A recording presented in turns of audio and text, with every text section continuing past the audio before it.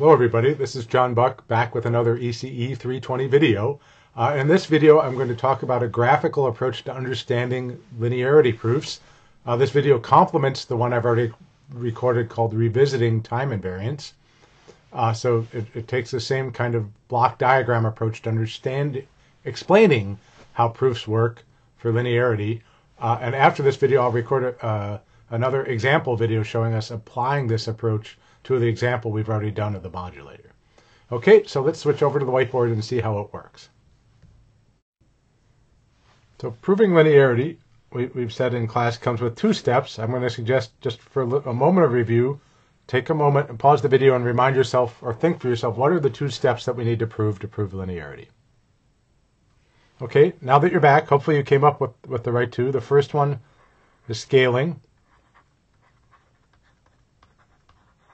And the second one is superposition. Right? For a system to be linear, it has to satisfy both of these properties. And so we usually check them one at a time. And just strategically, I always check scaling first because scale, if scaling fails, then I'm done. And scaling is the easier one to check. So I'll usually start there. So, so let's see, remind ourselves what scaling means. If I have an input x of n going through some system S to give me an output y of n, what scaling says is that if I take that output y of n and then follow it by uh, follow that output by uh, running it through a gain of a. Okay, so I run it through a gain of a, and maybe I call that output z of n. Oh, oh weird scaling there in the font size. So I call this z of n. Right? What, what the scaling property says is if I do these two things in this the other order, if I scale by A first and then run it through the system, I should get the same answer. So let's draw another branch showing that.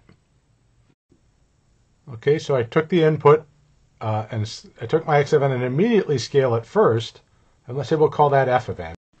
And then after scaling it, now I'm going to put it through the system S. And the output of that system I will call uh, g of n. Right, so so if I think about, and then so what for the scaling property to hold, z of n and g of n have to be the same for all inputs for, for whatever the system is. For a given system S I plug in. But big picture, what it's saying is I should get the same answer whether I go through the system first and then scale by A or scale by A and then go through the system. So that leads me to my key question which is r z is z of n equal to g of n.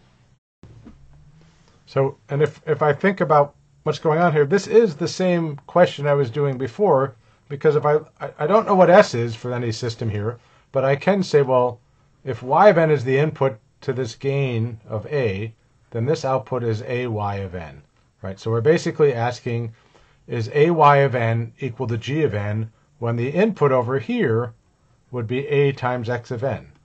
Right? Because I've taken x of n and run it through this gain by a, and then it comes through s, right?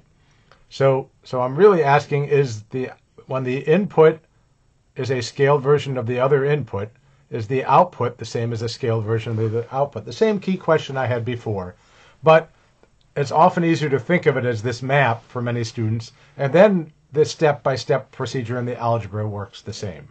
Okay, so that's the scaling half. What does a block diagram look like for superposition? Well, superposition involves adding two different outputs from, from two different inputs. So I have an input x1 of n that goes through the system to give me y1 of n, and then an input x2 of n that goes through the system to give me y2 of n. And then I add those two outputs, and I call the result of that adding z of n.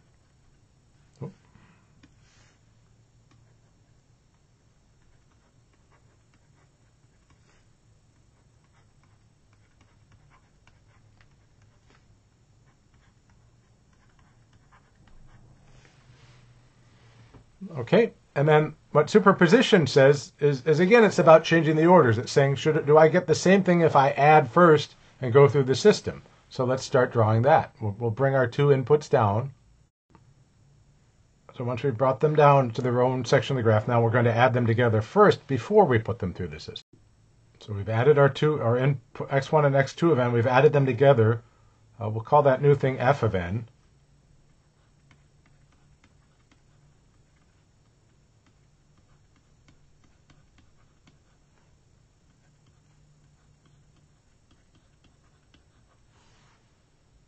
And then we're going to uh, take that new input and put it through our system.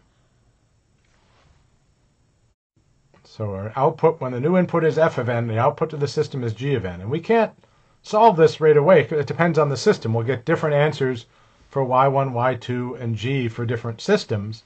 But the overall map of how we do this proof is the same, and we get the same key question for every proof of superposition. I'm going to move the page up just a little bit. which when we've drawn it this way, the key question for superposition becomes, is g of n equal to z of n?